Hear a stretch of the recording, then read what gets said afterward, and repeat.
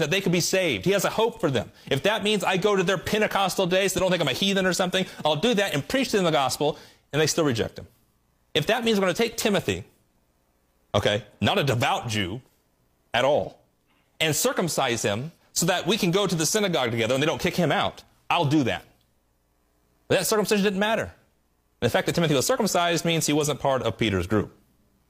Okay? But Peter and Paul, or Paul here, does these things for the sake of Israel. 1 Corinthians 9, verse 20, he says, To the Jews have become a Jew, that I might save some. Peter was trying to save Israel, wasn't he? By preaching a kingdom. They rejected that. They stoned Stephen. They kicked him out of Jerusalem.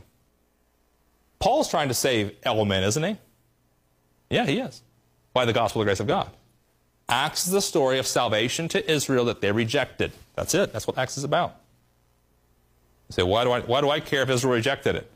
Because that's the only way you be saved now, that God counts all in unbelief that he might have mercy upon all.